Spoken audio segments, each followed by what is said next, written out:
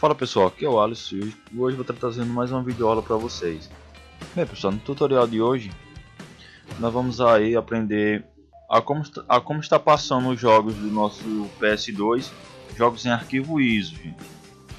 E de como está resolvendo alguns tipos de problema quando a ISO não é reconhecida no OPL. É um, é, no caso, um, vou mostrar para vocês alguns métodos de resolver esse, esse problema, tanto para jogos DVD como CD. Para iniciar esse tutorial, gente, eu preciso que vocês tenham um pendrive em mãos e esses três programas que vocês estão vendo aí no centro da tela: Ultra ISO, USB útil e DiskFrag. Nós vamos usar esses três softwares tanto para transferência do próprio jogo como para modificar a estrutura da ISO. Depois disso, desfragmentar o, dispositivo de armazenamento. Porque por mais que você coloque jogos no pendrive, você tem que desfragmentar. Isso é padrão. Tanto para HD externo como interno. O interno é mais para quem usa via rede, que é o meu caso. Via rede, o desfragmentação é não, é não é sempre que a gente precisa fazer normalmente faz quem quer, né? Porque normalmente quando eu coloco um jogo ele pega de primeira. Esse negócio de desfragmentar é bom para quem quer um negócio mais bem organizadozinho, o sistema do Windows não ter tanta dificuldade de encontrar os arquivos do, dos jogos. Mas quando a questão é dispositivo USB, é padrão, gente. Colocou um jogo ou tirou, tem que desfragmentar o disco antes e depois de colocar um jogo novo. Bem, pessoal, então para começar, eu tô com o pendrive aqui Vou espetar ele aqui no meu notebook. Como vocês podem ver, ele é de 8 GB. Eu formatei ele com sistema de FAT32. Por padrão, todo pendrive já vem com esse com esse sistema. Se você pegar um HD portátil desse de 500, 1 TB de giga, os pendrives vão vir com um sistema de 32 bits. Vamos ver com o sistema de FAT32 e os HD externos vai vir em TFS. Os HDs vocês têm que pegar um software para formatar formatar para esse sistema aqui que vocês estão vendo. Já pendrive não precisa. Então eu formatei esse pendrive. Para quem não sabe formatar, clica com o botão direito em cima do pendrive, formatar e iniciar. Depois é só fechar. Bem, depois de formatado, gente, eu levei ele lá pro meu videogame. Eu uso uma das versões mais novas do OPL, gente. Caso vocês queiram arquivo pro OPL, eu vou estar deixando o link da descrição do meu blog, que é a Millennium Games. Como vocês podem ver, gente, o, o meu blog é esse aqui. Tem um, tanto as versões, todas as versões do OPL feitas até agora, como tem uns uns arquivos a mais aqui, como capinha, tem reprodutor de, de áudio e vídeo, USB útil, tem muita coisa gente aqui. Se vocês estiverem precisando aí pro OPL, dá uma passadinha aqui que deve ter muita coisa, muita coisa relacionada aqui para vocês, dependendo do, do que vocês queiram fazer, né? Eu coloquei aqui só o básico que eu uso mesmo. Então pessoal, já, já mostrei para vocês onde vocês podem conseguir tanto as versões do, do OPL, que é aqui no meu blog, e alguns conteúdos a mais. Então, como eu tinha falado para vocês, eu levei esse meu pendrive lá para o meu videogame, executei o OPL e quando você executa um, um pendrive pela primeira vez no OPL, lembrando que essas versões mais novas, pessoal, ele de imediato cria essas pastas aqui: arte, CD, CFG, chat, DVD, TM, VCD. Jogos ISO, vocês colocam aqui. Lembrando, pessoal, que os jogos em ISO para ser colocado dentro dessa pasta DVD tem que ser abaixo de 3,96 GB. Não pode passar de 4, gente. Se passar de 4, vocês já vão ter que usar o USB útil. Mas Alisson, eu posso usar o USB útil para colocar todos os meus jogos? Pode. A vantagem do ISO é que você só cria a imagem ou baixa ela da internet. Já facilita muito porque você não faz mais nada. Só pega a ISO baixada e joga dentro dessa parte DVD. Caso o jogo seja maior de 4 GB, aí vocês vão ter que fazer todo o procedimento de conversão para ULI para ser reconhecido no OPL. Lembrando que os formatozinhos convertido pelo USB útil não pode ficar dentro de nenhuma pasta. Tem que ficar na própria raiz mesmo do, do pendrive ou HD externo. Para servir de teste, pessoal, eu peguei um jogo aqui. Full Blade 2. Digamos que vocês tenham baixado esse jogo aí em qualquer site. Como vocês podem ver, o peso dele é de 1 um, de um GB meio. Esse, então esse jogo aqui, tranquilamente, eu posso colocar ele no meu pendrive na pasta DVD, tranquilo. E mais uma coisa, gente. Com essas versões novas do OPL, você não precisa ter o um executável do jogo. Como vocês sabem, da, da versão 6 do OPL até a 8, se eu não me engano, até a 9, a nova oficial precisava do, do executável. Para quem não sabe o que é executável, é isso aqui, gente. No caso, você ia copiar,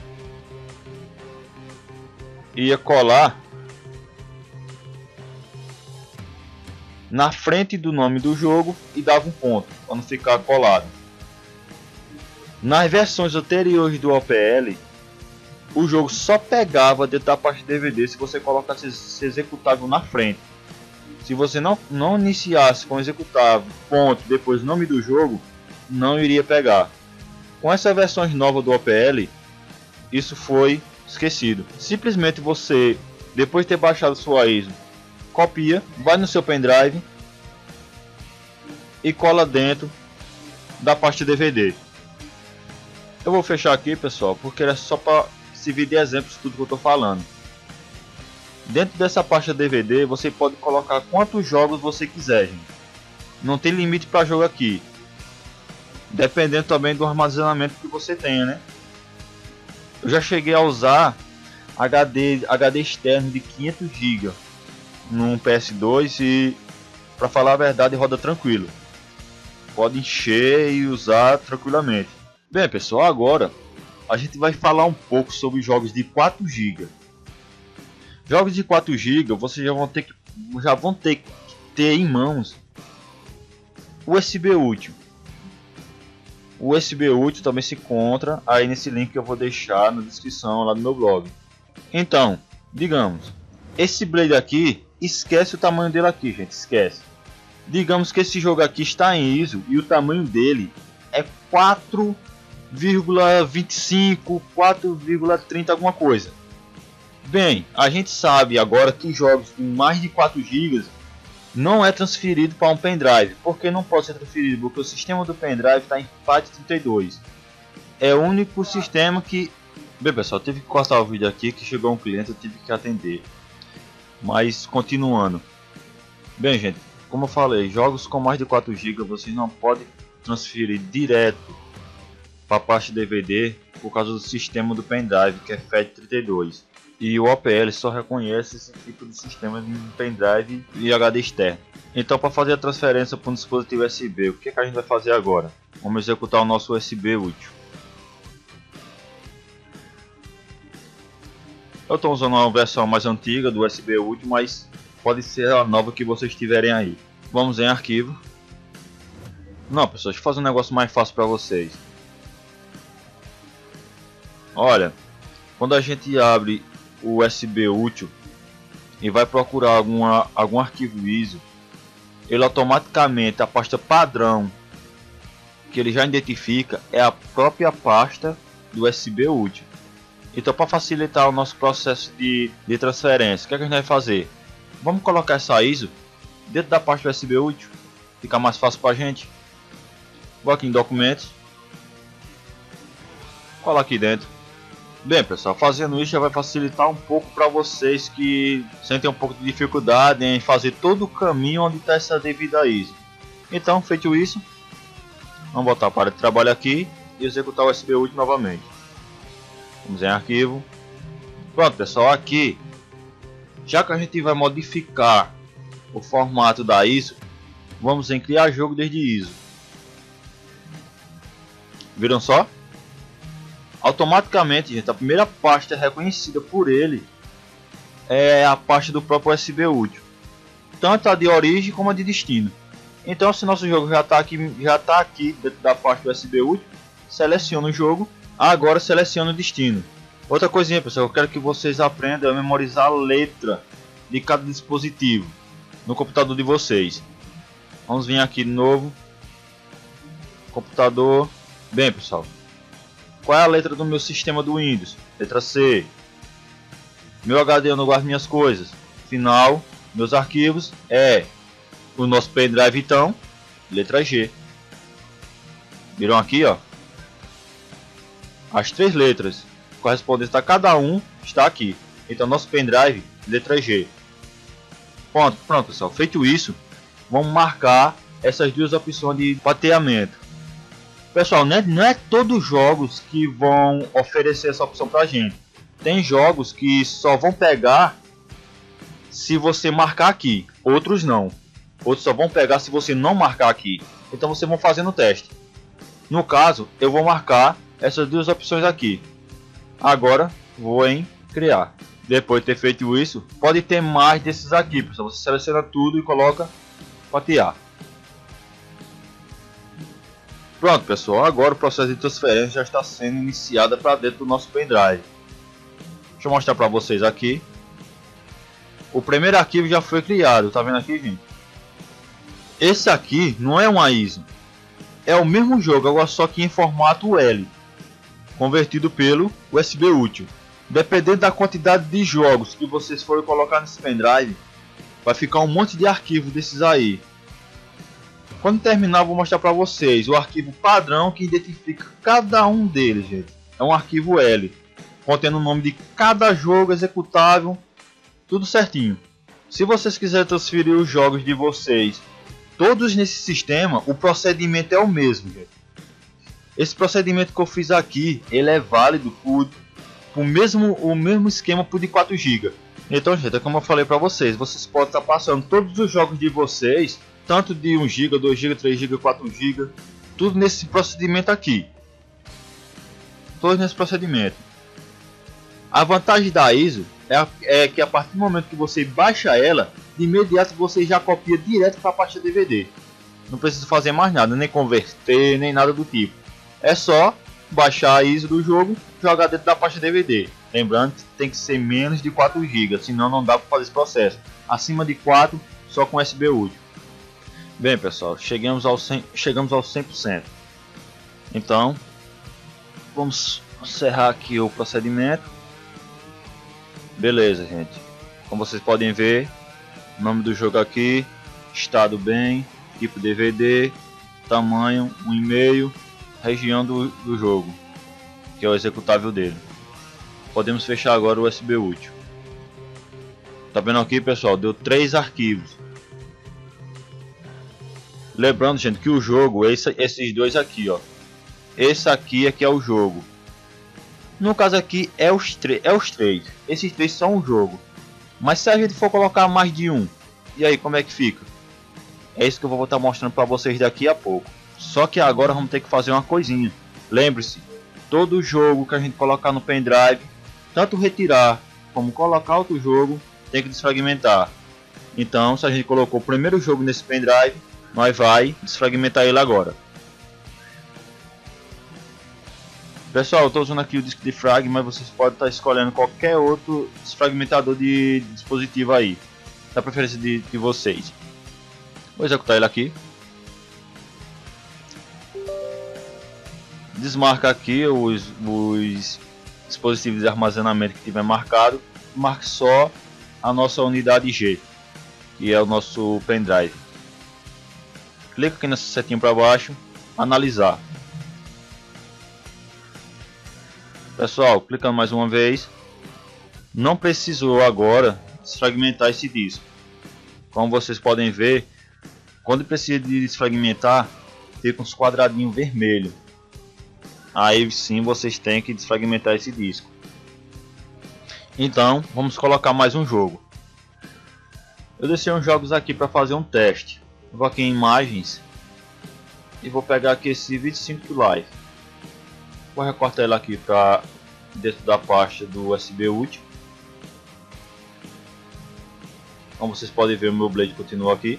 Vou deixar ele aí por enquanto. Vou colar ele aqui dentro para ficar mais fácil para quando a gente executar o USB útil, ele já ir direto para a pastazinha do programa, já contendo os jogos aqui dentro. Bem pessoal, então vamos executar novamente USB útil, sair, arquivo, criar jogo desde ISO.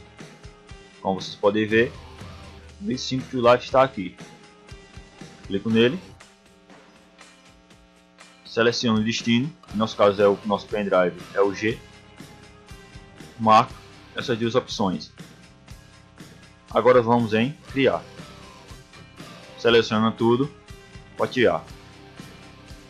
Esses jogos que eu estou testando aqui, pessoal, nesse USB útil, ele roda tranquilo em Easy. É só para ensinar para vocês mesmo como é que faz os procedimentos.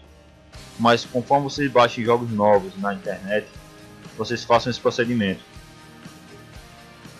Agora é só esperar o, o término aí da transferência Aí eu vou mostrar para vocês fragmentação e mais umas coisinhas a mais. Bem pessoal, o processo de transferência aqui já terminou. Como vocês podem ver, agora está nosso Blade e o 25 de Live. Bem, agora vamos analisar esse dispositivo, ver se ele está ok mesmo para ir direto para o USB do PS2. Vamos desfragmentar.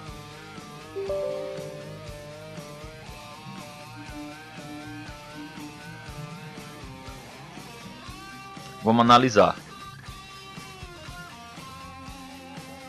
Bem pessoal, está ok ainda. Então se a gente fosse pôr de imediato agora esse pendrive lá no videogame, ele ia reconhecer tranquilo e já iniciar tranquilamente também. Pronto pessoal, digamos agora para a gente reconhecer cada jogo que está aqui, saber qual jogo é. É certo que a gente para fazer esse procedimento tem que ser com USB útil. Lembra que eu falei para vocês que esses três arquivos aqui eram o jogo? Bem, agora esses dois aqui é que são o jogo. Aqui também já é outro jogo. Esse aqui é o que identifica cada jogo que está aqui nesse formato UL do USB útil.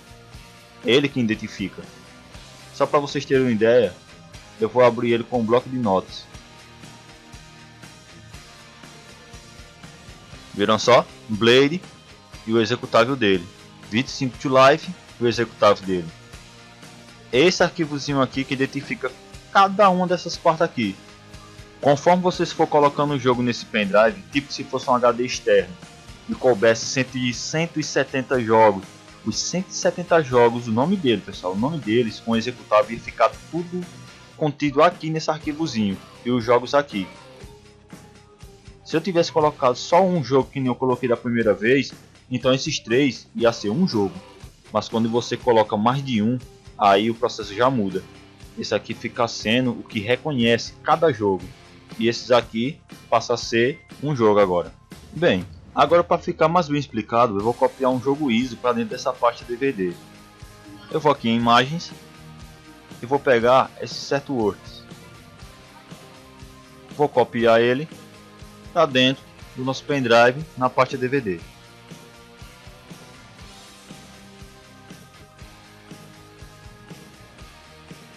Bem pessoal, mais um jogo transferido para o nosso pendrive. Como vocês podem ver, temos nossos dois jogos aqui em UL e temos agora mais um que é em ISO dentro da pasta DVD.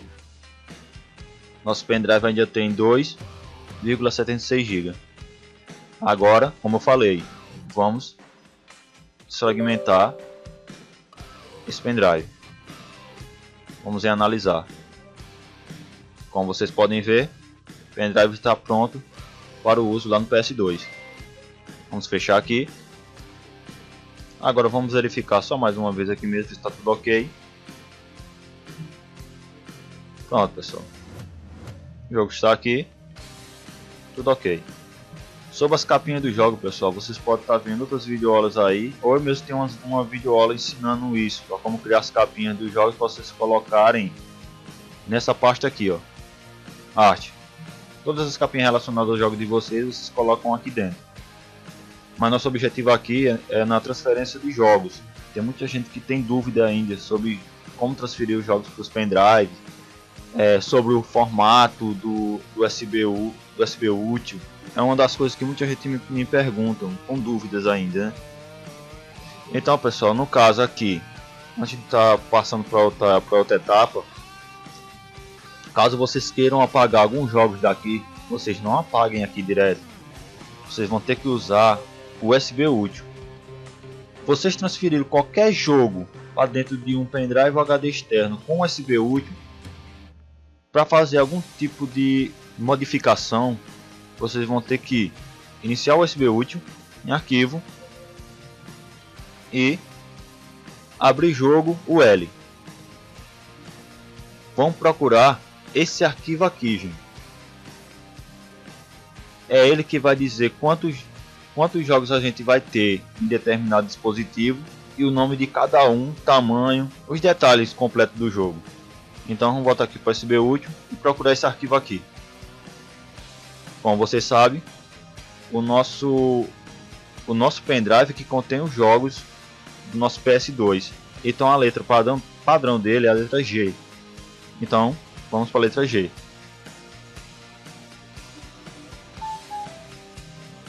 Como vocês estão, estão vendo aqui, o nosso arquivo L, que no caso é isso aqui, já apareceu desse lado. Então seleciono e carregar. Então pessoal, como vocês estão vendo, ele já identificou os dois jogos aqui. Viram só?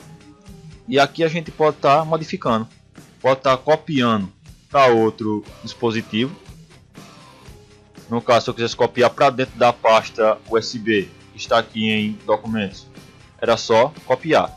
Ou para outro pendrive se tivesse aqui selecionava a letra do, do, do dispositivo, copiava.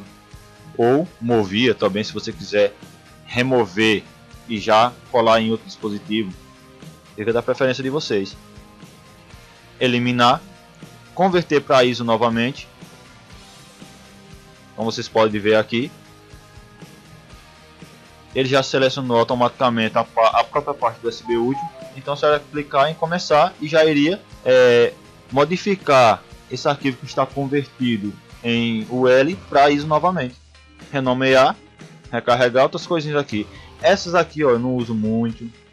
Essa ordenar também eu não uso. Eu uso mais eliminar, converter, renomear e copiar. Bem pessoal, essa parte aqui é só isso mesmo. Agora vamos pular para outra fase. Bem gente, digamos agora que você fez todo esse procedimento. Só que alguns desses jogos deram tela branca. Como a gente poderia estar resolvendo isso?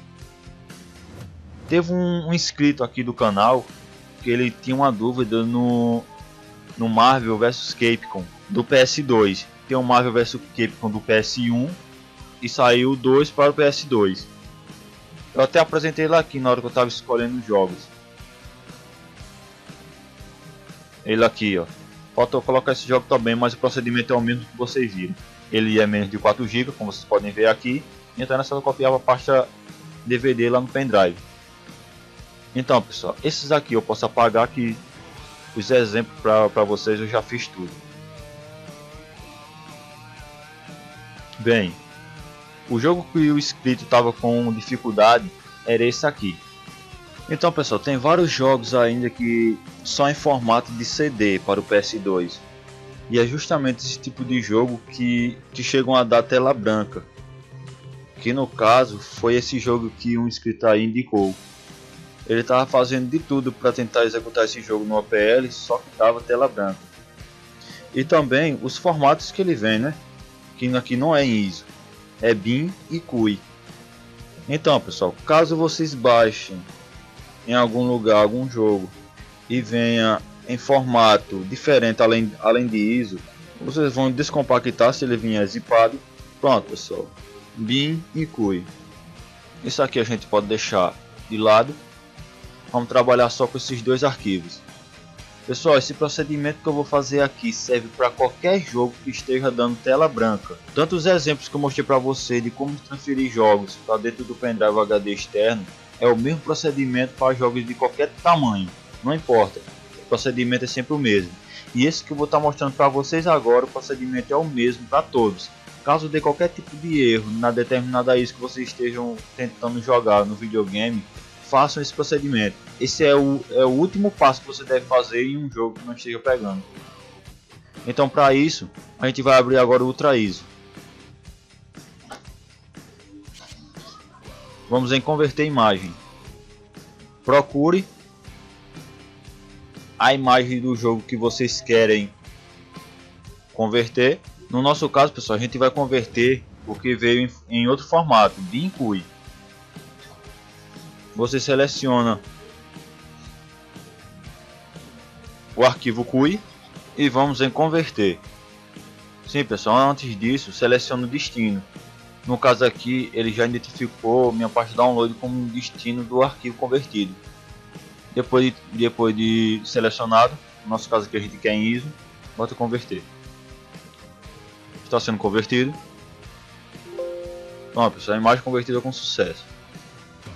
Fechar Ultra ISO. Bem, nosso arquivo está aqui. Deixa eu dar uma olhadinha aqui. É, isso aqui é o BIM. Isso é o CUI. Isso aqui a gente pode apagar. Pronto. Nossa imagem criada é essa daqui. É com ela que a gente vai trabalhar. Então, pessoal, se vocês baixarem algum jogo que seja em mídia de CD e vem em formato BIM, BIM e CUI, os procedimentos é esse que eu estou mostrando para vocês. Então, pessoal, o que, é que a gente vai fazer agora? Quero que vocês criem uma pasta. Beleza. Agora, clique duas vezes sobre a imagem convertida. O Ultra ISO ele irá abrir e vai mostrar para a gente os, os arquivos que contém dentro dessa ISO que em nosso caso esses arquivos aqui. Bem, se vocês quiserem levar essa ISO aqui, essa ISO convertida para o pendrive fazer um teste e ver se ela funciona, isso é óbvio, né, gente? Se, se você tiver baixado o jogo pela primeira vez, assim, a gente está fazendo isso aqui porque sabe que o jogo está com problema. Mas se vocês baixam um jogo e querem tirar dúvida ver se ele vai funcionar sem precisar modificar mais nada, você já leva essa ISO direto para a pasta DVD e já na pasta DVD ou CD e já executa direto lá no OPL. Se der tela branca para confirmar mesmo, aí a gente faz esse procedimento aqui. A gente tá fazendo isso aqui tudo porque a gente já sabe que esse jogo aqui, que no inscrito falou e eu realmente confirmei, tá com problema mesmo. Então o que, é que a gente vai fazer? Vamos entrar dentro dessa pasta vazia e copiar todos os arquivos que contém dentro da ISO pra, para dentro dessa pasta vazia. Desse jeito.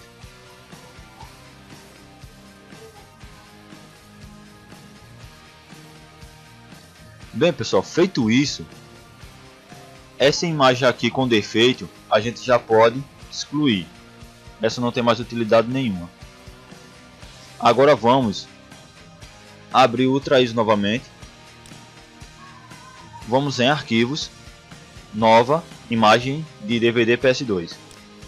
Agora vamos na pasta onde a gente extraiu os arquivos da ISO. No meu caso foi em downloads. Clicar duas vezes e clicar nesse system.cnf. Abrir. Pronto, pessoal, todos os arquivos que continham na antiga, na antiga ISO com defeito estão agora aqui. Só que aqui é uma ISO nova. Então, vamos em arquivos, salvar. Aqui vocês renomeiam mas eu vou deixar padrão do jeito que está aqui mesmo. E vou em salvar. Pronto, pessoal. A imagem foi salva. Pode fechar. Pronto. E esse aqui é a nossa ISO já limpa de algum erro. Pessoal, quero deixar claro uma coisa aqui. Esse método que eu estou falando para vocês resolve boa parte dos defeitos que acontece de estar no jogo. Algum tipo de bug, questão de tela branca, é, muitas coisas. Caso o jogo de vocês dê algum problema, converta ele com, com USB útil. Se caso ele não funcionar bem em ISO, então vocês convertem em USB útil. Se ele der erro nos dois, em ISO em, e no formato do USB útil, que é o L, vocês fazem esse procedimento e, e converte novamente em, em UL e copia para dentro do dispositivo USB. No nosso caso, nossa imagem criada já está aqui. Então o que, que a gente vai fazer? Vamos agora para USB útil.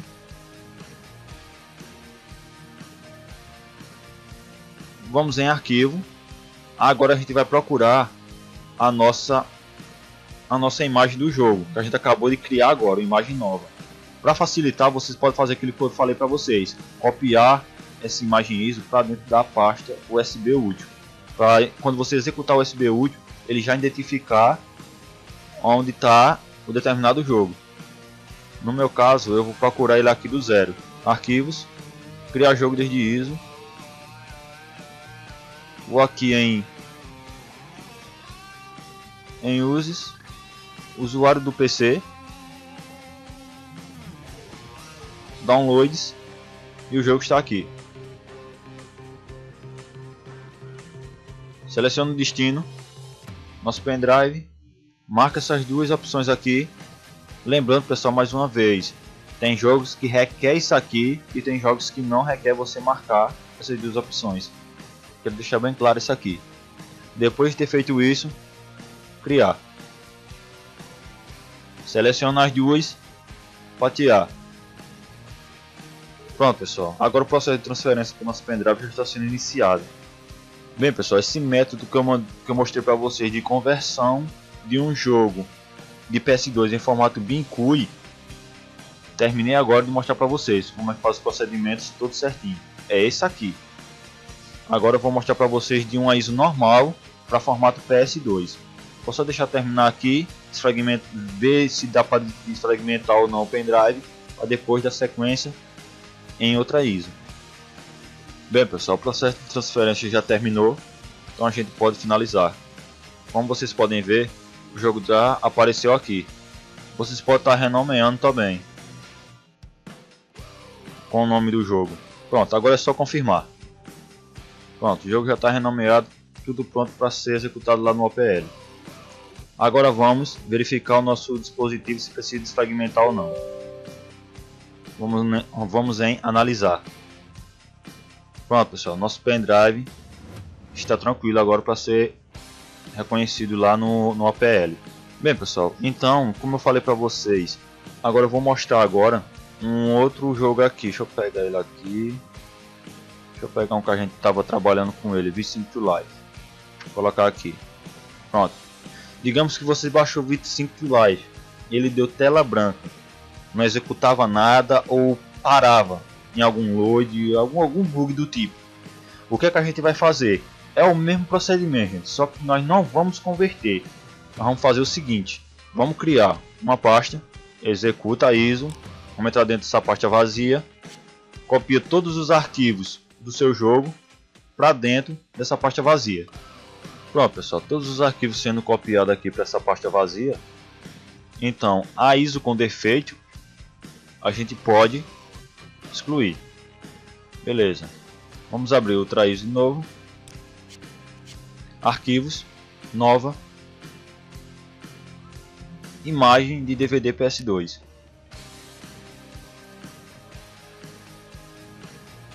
Vão para a parte que contém os arquivos de vocês, que no meu caso está em downloads, nessa nova pasta, e selecione o system.cnf. Abrir. Todos os arquivos estão aqui nessa nova ISO. Vamos salvar agora. Salvar.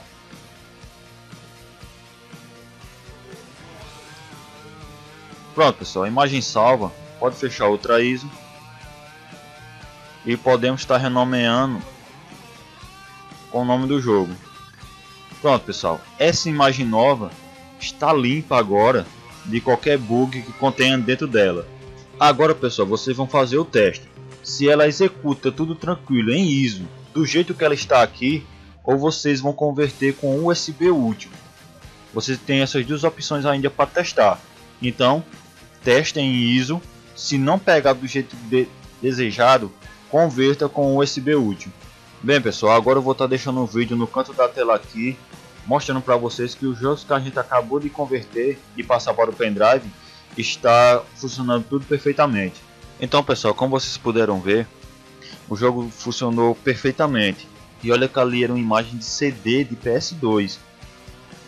Pessoal, espero ter sido bem claro nessa explicação aí de como resolver esse tipo de problema com tela branca ou se não algum tipo de bug na imagem ISO. Gente, qualquer dúvida deixem nos comentários que assim eu vou estar fazendo o possível para entrar em contato com vocês. Os inscritos aqui do canal já sabem, né, que não passa mais de 24 horas sem ter resposta. Gente, de coração mesmo, agradeço por você estar vendo, vendo esse vídeo aqui. E lembrando pessoal, no que eu puder ajudar vocês, é lógico que eu vou estar ajudando. Porque, como vocês mesmos que sentem dificuldade no APL, eu também tive muito. Só que, que nem eu falei para o inscrito, eu tive a ajuda de pessoas dedicadas sobre esse tipo de assunto e consegui aprender o que eu sei hoje. Então, tendo dúvida, tô aqui para resolver. Assim eu saiba. E não esquece de deixar aquele like para me saber se vocês gostaram do vídeo ou não. E se possível comente é, agradecendo, falando que conseguiu resolver os problemas aí dos jogos, que nem teve uns inscritos que já falou. Ô Charles, consegui resolver aqui o, um probleminha de um jogo, tava dando tela branca, mas agora não dá mais. Cara, fico bem satisfeito com isso. Então, gente, valeu mesmo. Até o próximo vídeo.